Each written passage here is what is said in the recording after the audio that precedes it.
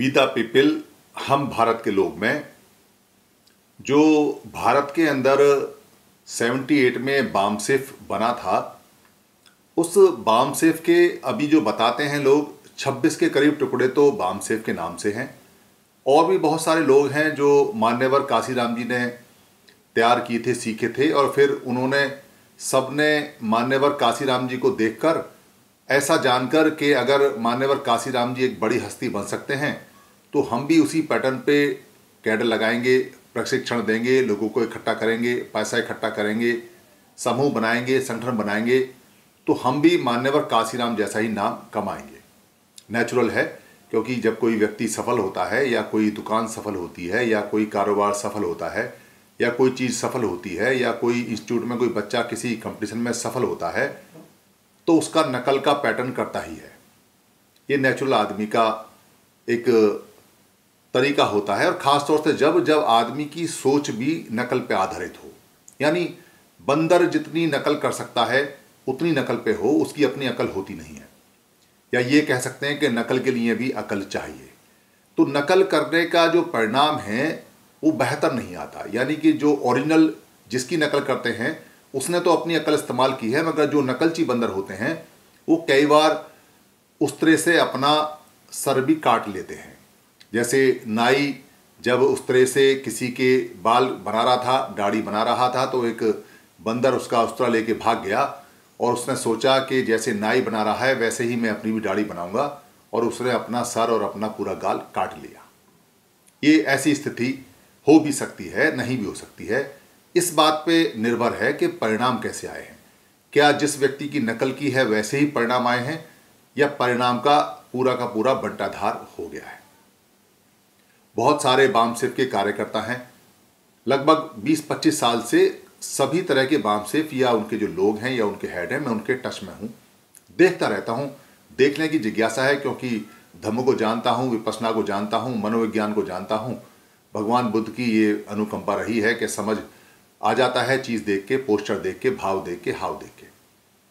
तो अक्सर जब बामसेफ का कोई कार्यकर्ता कहीं जाता है, किसी व्यक्ति के पास सिखाने के लिए, उसको बताने के लिए, विचार देने के लिए, या उसको अपने अधिवेशन में ले जाने के लिए मोटिवेट करता है तो वो कहता है कि हम आपके पास आ रहे हैं, वो जाता है, वहाँ जाकर बैठता है तो वो कहता है कि हम बामसेफ से आए हैं। सामने वाले व्यक्ति का सीधा सवाल होता है, कौन से बामसेफ से आए हैं? जैसे ही वो ये सवाल करता है, बामसेफ के कार्यकर्ता का सारा उत्साह ठंडा पड़ जाता है, उसका चेहरा फीका पड़ जाता है उसकी निगाह नीची हो जाती है, उसकी हवाइयाँ उड़ जाती हैं। ठीक ऐसे, जैसे 6743 जातियों में जो जाति का, नीचे का जाति मानी जाती है, जब किसी से ये पूछते हैं कि तेरी जाति क्या? उस समय जो हवाइयाँ उठती हैं, वैसी ही हवाइयाँ ठीक तब उठती हैं जब पूछते हैं, कौन सा बाम सेफ़? एक फिक्स सा एक आंसर बनाया हुआ है बाम सेफ़ के कार्यकर्ताओं ने। बड़े हंस के कहते हैं, बड़ी झेप सी होती है उनको बड़े तरीके से कहते हैं क्योंकि उनके जो टीचर हैं, उन्होंने बताया है, अजी बाम सेफ़ तो सारी एक ही है, बाम सेफ़ तो बटी हुई है नहीं, सब एक बाम सेफ़ है, एक ही बाम सेफ़ होती है। तो वो जो जिसको सिखाने आए हैं, वो बड़ा मनी मन में हंसता है, अगर वो जानता है तो और नहीं जानता है तो वो पसंद करेगा भी नहीं। वो इसलिए हंसता है कि भाई अगर तुम्हारा बाम सिर्फ़ एक ही है तो मेरा प्रश्न बेकार है। अगर तुम्हारा बाम सिर्फ़ एक ही है तो इतने सारे प्रधान और प्रेसिडेंट क्यों हैं? तुम्हारा बाम सेफ़ अगर एक ही है तो इतने सारे अलग अलग अलग अलग दड़वे क्यों हैं? क्योंकि एक बाम सेफ़ का एक समूह है, वहाँ के एक प्रचारक हैं। वो बड़े ही शान से और बड़े ही गर्व से बार बार बार बार अपने भाषण में कहते हैं कि ये जो 6743 जातियाँ हैं, ये दरअसल दड़वे हैं दड़वे बाड़े हैं, बाड़े जानवरों के। इनमें बांधा हुआ है सबको बाड़ों में। और ये जानवर में एक मोहर लगाई हुई है जात की। और इनमें एक बाड़े से दूसरे बाड़े में जाने की इजाज़त नहीं है। आप जा नहीं सकते। इन बाड़ों को तोड़ो, इन जातियों को तोड़ो और आपस में लोग मिलो, तब आज़ादी होगी। वो तो छः हज़ार सात सौ तैतालीस बाड़े हैं। और वही जो नेता भाषण देता है, उसने भी एक बाड़ा बनाया हुआ है। यानी जहाँ वो भाषण दे रहा है, उस बाड़े का भी उसने एक नाम रखा हुआ है। अपने आप को विचारक कहता है। ऐसे ऐसे दस हज़ार बाड़े बताए जाते हैं जिनको संगठन बोलते हैं। धम्मिक लोगों के संगठन, जो भगवान बुद्ध के नाम से धम चलाते हैं। मतलब शर्म की बात है कि धम्म में भी बाड़े हैं। जो सरकारी कर्मचारियों के संगठन हैं, उसमें बाड़े हैं। जो बाम सेफ़ के संगठन हैं, छब्बीस उससे ज़्यादा भी हो सकते हैं, उसमें बाड़े हैं। जो सामाजिक संगठन है, उसमें बाड़े हैं। जो राजनीतिक संगठन है, उसके बाड़े हैं। जो अन्य प्रकार के संगठन हैं, दल, बल, सेना, शक्ति, पैंथर, युवा, ये सेना, आर्मी, चीफ, कमांडर, ये सारे के सारे बाड़े हैं। तो दस हज़ार बाड़े हैं तो आप सोचिए कि किसी बाहर के व्यक्ति ने आपको जातियों में, बाड़ों में बांटा छः हज़ार सात सौ तैंतालीस में। और आप उन जातियों को तोड़ने के लिए विचारक बने हुए हैं, प्रचारक बने हुए हैं, बड़े बुद्धिमान बड़े हुए हैं, कहते हैं कि बाम सिर्फ़ हमारी माँ है। ऐसा इमोशनल सेंटेंस कहते हैं। और फिर दूसरा सेंटेंस नहीं कहते कि हमने अपनी माँ के 26 टुकड़े किए हुए हैं। मतलब हम विचारक हैं, मगर हमारा विचार वहाँ काम नहीं करता, जहाँ बाबा साहब अंबेडकर ये कहते हैं कि संगठित रहो। ये जो बाड़े हैं, ये बाड़े जो चलते हैं, ये भक्ति में भी चलते हैं। यानी कि जो संत हैं और जो महापुरुष हैं, उनके भी लोगों ने बाड़े बनाए हुए हैं। ये मेरा संत है, ये तेरा संत है, ये उसका संत है, ये उसका संत है। सारे संत, जितने भी संत हैं, उन्होंने कहा है कि आपको संगति करनी है। आपको पूरा का पूरा सत्संग करना है, एक साथ बैठना है। संगति में रहना है, संगत में रहना है। मगर वो सारे के सारे नियम का पालन कर रहे हैं, मगर संगति का, संगत का अर्थ नहीं समझे। संगत और संगति का मतलब है कि बिना भेदभाव के सबको एक साथ रहना है। और उन्होंने तो संत और महापुरुषों में ही भेदभाव कर दिया। ये तेरा संत है तो तेरा सत्संग हो गया, तेरी संगति हो गई, तेरी संगत हो गई। ये मेरा संत है तो मेरी संगति हो गई, मेरा संगत हो गई, ये मेरा बाड़ा हो गया। मतलब महापुरुषों की तो पूरी की पूरी जितनी भी शिक्षा थी, उसकी तो वाटी लगा दी। कोई मतलब ही नहीं है। और दावा इस बात का है कि ये मेरा महापुरुष है और मेरा महापुरुष है और मेरा महापुरुष है। मतलब महापुरुष भी बांट दिए बुद्ध का जो धम है, जो बुद्ध है, वो भी बांट दिया। सरकारी कर्मचारी बांट दिए। बामसेफ जो बनाई थी इसलिए कि इस सबका एक समूह है, वो बांट दिया। तो जब वो सिखाने के लिए जाता है कार्य करता तो उसको बड़ी शर्मिंदगी महसूस होती है। क्योंकि सामने वाला जानता है कि तुम्हारे अधिवेशन अलग अलग होते हैं। सामने वाला एक बात और भी जानता है कि तुम लोग बार बार बार बार ज़िक्र करते हो सारे के सारे कि हमारा एक दुश्मन है, हमारा एक दुश्मन है, और हमारा एक दुश्मन है। मगर तुम ये कभी नहीं कहते कि हम आपस में एक दूसरे के दुश्मन हैं, हम आपस में एक दूसरे के दुश्मन हैं, हम आपस में एक दूसरे के दुश्मन हैं। जब आप बाड़ों में बंधे हुए हो और किसी दूसरे के फ़ंक्शन में जाने की बंदिश है, आप जा नहीं सकते। अगर आप किसी और की मीटिंग में या किसी और के कार्यक्रम में चले गए तो आपको क्वेश्चन हो जाएगा, नोटिस हो जाएगा, आपका जो ऊपर का, आपका जो आका है, जो आपको बाँध के रखता है, जो आपको बंधुआ करके रखता है, वो आपको धमकाएगा, अरे, तुझे इधर रहना है या उधर रहना है? तू वहाँ गया कैसे? मतलब जब आपका बाम सिर्फ़ एक है और विचार एक है तो कार्यकर्ताओं के आने जाने पर रोक क्यों है? सामने वाला जिसको सिखाते हो, वो सब जानता है, सब समझता है। फिर आप उसको रोना रोते हो, देखो, आरक्षण चला गया, देखो, संविधान पे खतरा है, देखो, दुश्मन हमारा ऐसे कर रहा है, देखो राज सत्ता चली गई, देखो, हम गुलाम होने जा रहे हैं। हमारी फिर वही स्थिति होने वाली है कि हमारे आगे थूक के लिए घड़ा बंधेगा और पीछे झाड़ू बंधेगी। कितना इमोशनल करके आप डराते हो। इतना डराते हो और फिर कहते हो कि आप क्या सहयोग करोगे, उससे सहयोग भी आप लेते हो। मगर रिज़ल्ट नहीं बताते आप कभी। आपने कभी रिज़ल्ट नहीं बताया कि 78 से लेके अब तक कितनी चीज़ें जो बाबा साहब की चली गई आपके होते हुए वो आप रुकवा पाए, या जो आपके अधिकार और जो थे वो कितने बढ़वा पाए और आपके होते सोते ये अधिकार डे बाय डे क्यों जा रहे हैं? जबकि हमारे जैसे कार्यकर्ता, साधारण कार्यकर्ता आपको पैसा भी दे रहे हैं, आपको समय भी दे रहे हैं, आपके अधिवेशन में भी आ रहे हैं। आप जहाँ कहते हो वो बात मानते भी हैं। तो आप जब ये कहते हो कि सारे बाम से फेक हैं, विचार एक है तो आप किसको बेवकूफ़ बनाते हो? सामने वाले को? वो तो बेचारा अपने पैसे दे के अपनी ज़िम्मेदारी पूरी कर देता है। मगर आप उसके पैसे लेके पाप में भागीदारी होते हैं, ज़िम्मेदारी पूरी नहीं होती। क्योंकि संगठित होना बाबा साहब ने कहा है और आप संगठित होने का कार्य कर रहे हैं। मगर एक दूसरे के आप जानी दुश्मन हैं, जानी।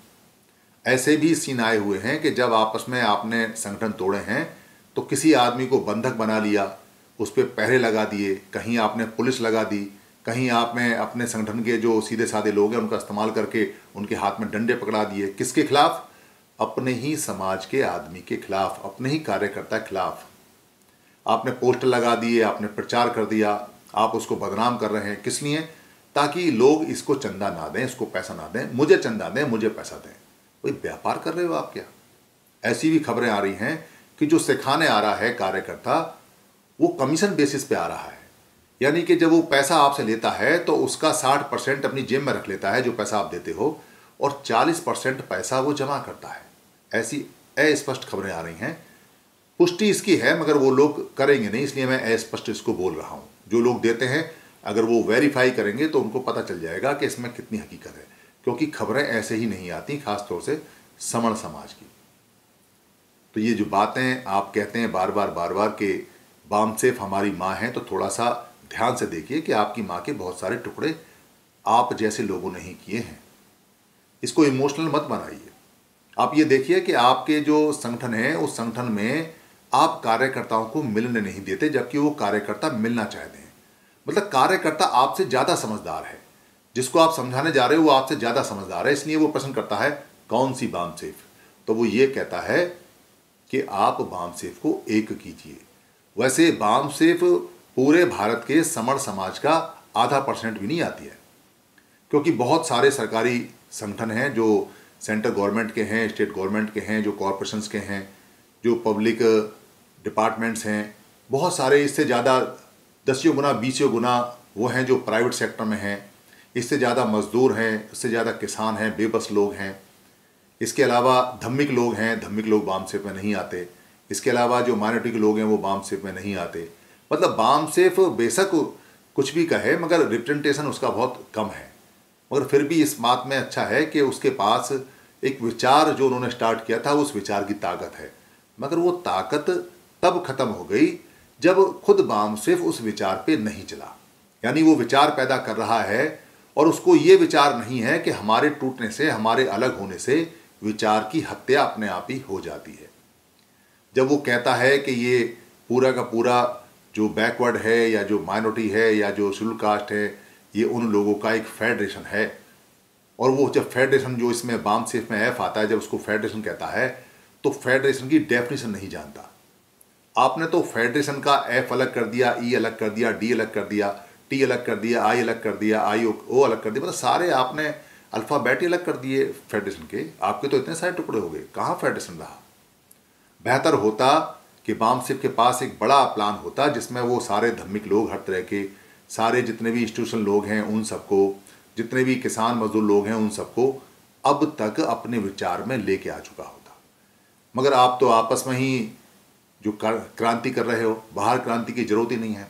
आपका जो मेन उद्देश्य है वो ये है कि मेरा बाम सेफ़ दूसरे बाम सेफ़ से कैसे आगे बढ़े। मेरा बाम सेफ़ दूसरे बाम सेफ़ से कैसे जीते। मेरे बाम सेफ़ का अध्यक्ष दूसरे बाम सेफ़ के अध्यक्ष को कैसे डाउन करे। मेरा कार्यकर्ता मेरे पास रहे, दूसरे बामसेफ का विचार ना सुने।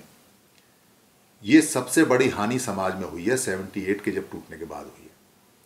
आपको इतना समझ नहीं है, इतनी जानकारी नहीं है, आपसे ज़्यादा बेहतर जानकारी उस महिला को है जो अपने आसपास औरतों को इकट्ठा करके कहती है कि हमारा सबसे अच्छा काम ये है कि हम दूर की बात ना सोच के अपने पड़ोसी से बना के रखें, क्योंकि अगर हमारे बच्चे को कोई दिक्कत होगी तो सबसे पहले हमारा पड़ोसी ही हमें बचाने आएगा। मतलब उसकी समझ बेहतर है, आपकी समझ बेहतर नहीं है। आप हमेशा क्या कहते हो? ये हमारा दुश्मन है, ये हमारा दुश्मन है, ये हमारा दुश्मन है। इतने लंबे लंबे भाषण देते हो। भाई, अगर आप अध्यक्ष हो तो क्या तीन घंटे का भाषण पिलाओगे आप अगर चीफ गेस्ट बना दिए तो ज़रूरी है कि आपको लंबा भाषण देना ही देना है। मतलब आपको शॉर्ट में टाइम बचाना नहीं आता। आपको अपनी बात को कम शब्दों में कहना नहीं आता। लंबे लंबे भाषण पेलते हो लोग बोर हो जाते हैं। और भाषण कहाँ खत्म होगा? ये हमारा दुश्मन है और ये हमारा दुश्मन है। आपने घोल घोल के दुश्मन बता दिया, हर एक बच्चे की जवान पे दुश्मन है। तो आप काम किसका कर रहे हो? दुश्मनों का या दोस्तों का? सारा काम आपने जीवन भर दुश्मन बताने में किया। दोस्त बताने में काम नहीं किया आपने। आपको ये पता ही नहीं कि आपके दोस्त कौन से हैं, उनसे दोस्ती कैसे होती है।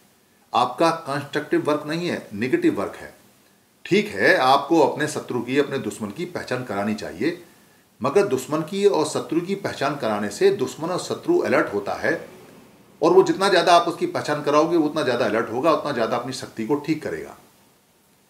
और जब आप दोस्तों की पहचान करने लायक नहीं है, या दोस्तों का ज़िक्र नहीं करते, या अपने ही दोस्तों को आप अलग अलग कर देते हैं, अपने ही दोस्तों में दुश्मनी पैदा करते हैं आपको ये पता नहीं कि सरकारी कर्मचारी जो बाम से पर नहीं आता, वो भी आपके समर समाज के दोस्त हैं। आपको ये पता ही नहीं कि जो धर्म के लोग हैं, वो सारे आपके दोस्त हैं। आपको ये पता ही नहीं कि जो इकोनॉमिक में काम सेक्टर में करते हैं, वो आपके दोस्त हैं। आपको ये पता ही नहीं कि ये छोटे मोटे जो दस हज़ार संगठन हैं, ये आपके दोस्त हैं। इनसे बात करनी चाहिए, इनसे मिलना चाहिए। बाकी जो आपके दुश्मन हैं, उसने तो सारे संगठन इकट्ठे कर लिए। क्योंकि वो कंस्ट्रक्टिव वर्क ज़्यादा कर रहा है निगेटिव वर्क नहीं कर रहा। वो कभी नहीं कहता कि आप लोग दुश्मन हैं। वो कहता है कि देखो अलाइन कहाँ हो सकता है? अलायंस कहाँ हो सकता है? कहाँ गठजोड़ हो सकता है? गठजोड़ पे ही चल रहा है पूरा देश। मगर आपको गठजोड़ में कोई दिलचस्पी नहीं है, उसकी कोई जानकारी नहीं है। आपने अपने कार्यकर्ताओं को, अपने भाषण को कभी ये इस बात में नहीं लिया। एक सिंगल भाषण नहीं है कि हम अपने दोस्तों की पहचान करें, हमारे कौन कौन से दोस्त हैं। होना यह चाहिए कि आपको तीन परसेंट एनर्जी इस बात में लगानी चाहिए कि आपका शत्रु कौन है, आपका दुश्मन कौन है, आपको हानि पहुँचाने वाला कौन है कौन है जो आपका अपोजिशन में है। और 97 परसेंट आपको सत्तानवे परसेंट एनर्जी इस बात में लगानी चाहिए, ये सिखाना चाहिए कि आपके दोस्त कौन से हैं।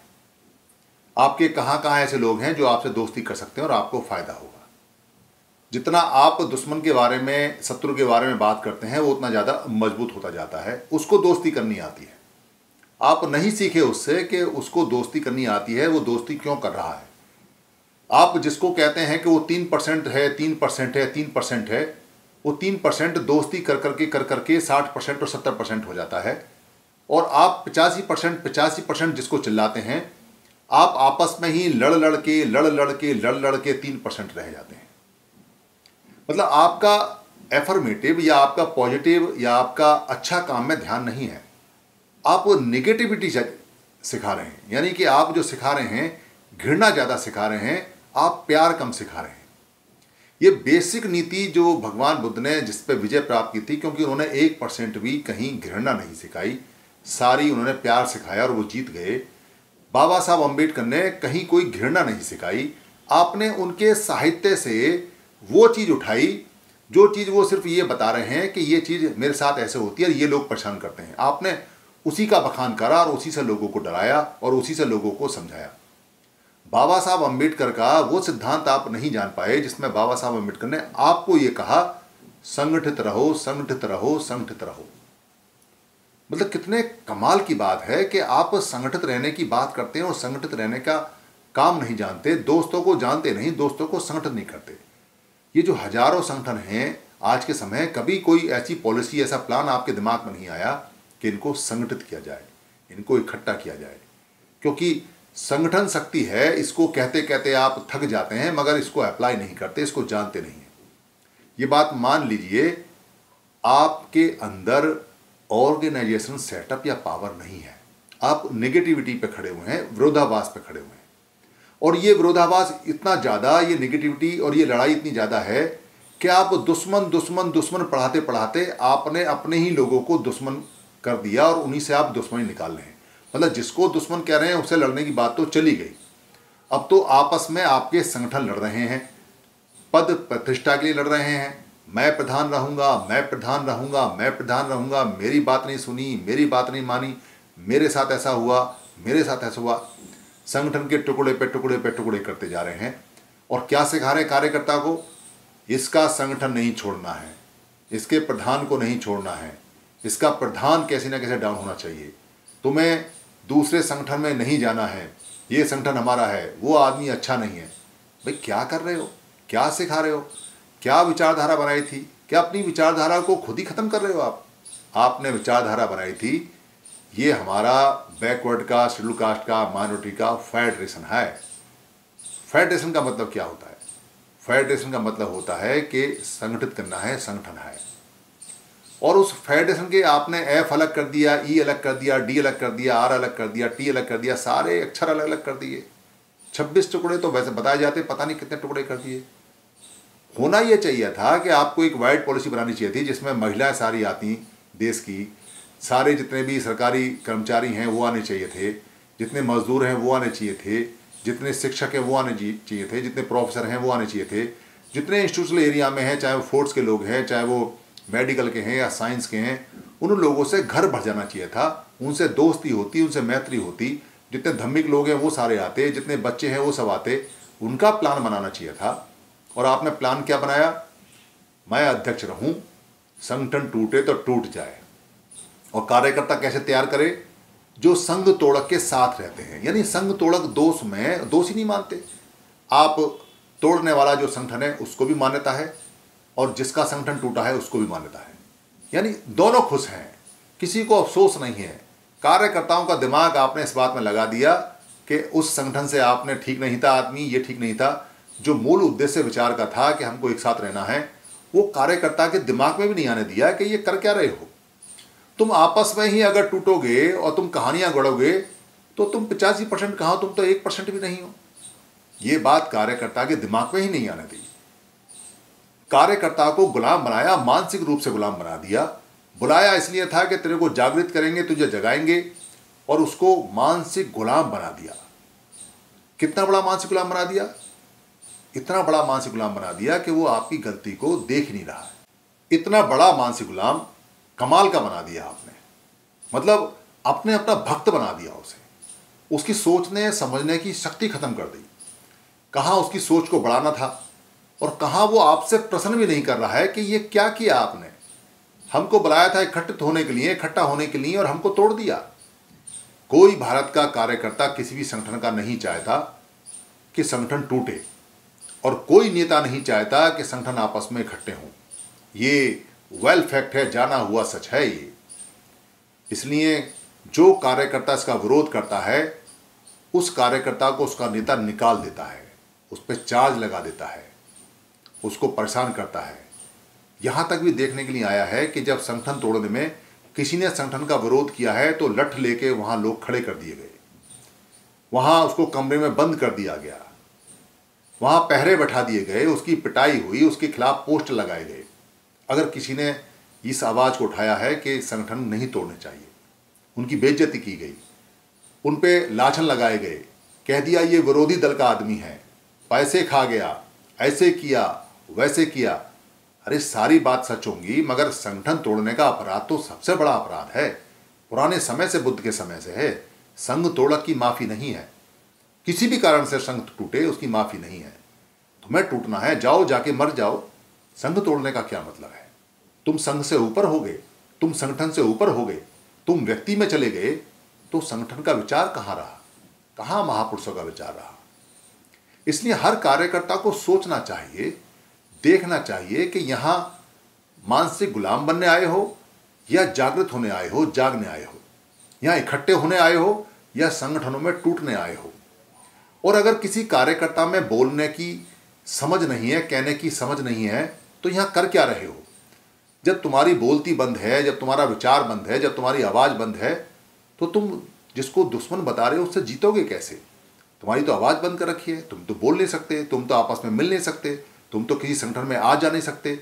जब तुम इकट्ठे नहीं हो सकते, बोल नहीं सकते, आ जा नहीं सकते, बात नहीं कर सकते, विचार नहीं कर सकते तो मरे हुए लोग हो तुम। जागृत कहाँ हो? अगर जागृत होते तो ये संगठन टूटते क्यों? ये गुलामी आती क्यों? ये संविधान जाता क्यों? ये सारी चीज़ें ख़त्म क्यों होती? ये दो के चार और चार के आठ और आठ के सोलह के बत्तीस के चौसठ के एक सौ अट्ठाईस के जो सारे के सारे संगठन बनते जा रहे हैं, दस हज़ार, ये क्यों बनते अगर तुम जागृत होते? तो कैसा कार्यकर्ता पैदा किया, मरा हुआ पैदा किया, वैचारिक नहीं किया, ज़िंदा नहीं पैदा किया, भक्त पैदा किया, गुलाम पैदा किया, बोलता नहीं है, या उसको खरीद लिया, कि तू पैसा इकट्ठा करके ला, कुछ पैसा मैं तुझे दूँगा, कुछ मैं रखूँगा तो वो अपने लालच में वहाँ पड़ा हुआ है।